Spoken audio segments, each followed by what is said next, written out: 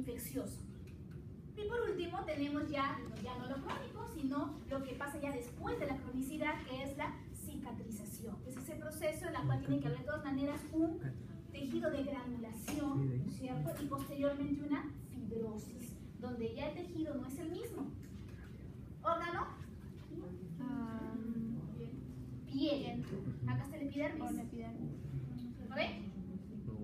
Pero miren la dermis, es una dermis homogénea. Hay algo acá, ¿no? ¿No ven acá unos tractos rosados? Acá también se ve no tanto, por la coloración está muy pálida, pero acá se ve muchísimo mejor.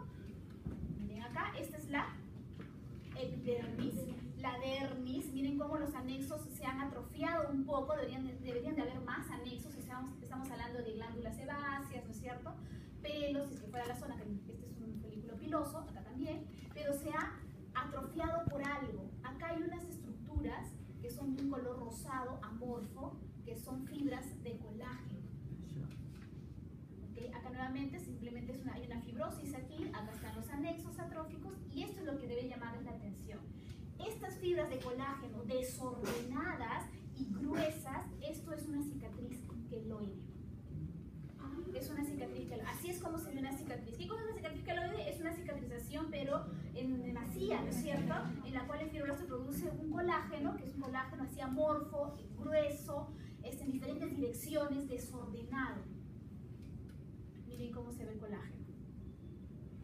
Todo esto de acá son fibras de colágeno. Es una sustancia amorfa. ¿Cuál es el colágeno? No es una célula, el colágeno es una fibra, ¿no es cierto? Eh, que- Y que se deposita en la dermis.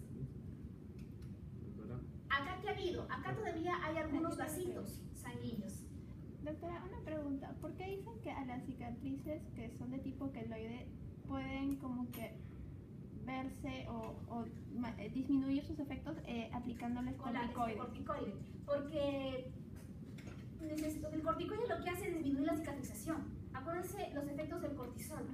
¿Se acuerdan que se utilizaba para disminuir todo lo que es antiinflamatorio y todo lo que es la inflamación crónica y aguda? Entonces, de alguna manera baja un poco la, la función de estas células de producir colágeno. Ya. Y acá, antes de haber habido, obviamente, una cicatriz, tiene que haber habido tejido de granulación. Y el tejido de granulación se compone sobre todo de vasitos. Miren cómo acá hay vasitos. Un montón de vasitos. ¿Y alrededor qué cosa hay? La fibrosis. O sea, ha habido una fibrosis, o mejor dicho, ha habido una, un tejido de granulación, posteriormente vienen los fibroblastos, durante todo ese, ese tejido de granulación y produjo esa gran cantidad de colágeno, que es lo que finalmente hizo la cicatriz queloide. Listo chicos, entonces no se olviden, tenemos cinco láminas, apendicitis, la colitis, la gastritis crónica reagonizada, el hongo, que es la paracocidionicosis, y la queloide.